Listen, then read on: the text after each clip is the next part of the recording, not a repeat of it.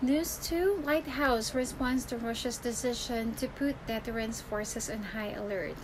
White House Press Secretary Jen Psaki said that Russian President Vladimir Putin's decision to put Russia's deterrence forces, which include nuclear arms, on a high alert are part of wider pattern of unprovoked escalation and manufactured threats from Kremlin.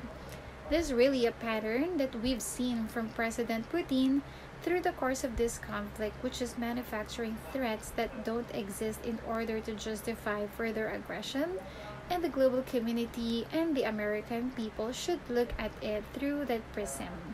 Additionally, a senior administration official told that Putin's move was yet another escalatory at every step.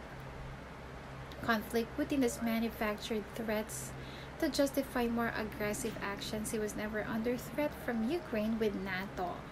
The only reason he's faced the threat today is because they invaded sovereign country and one without nuclear weapons.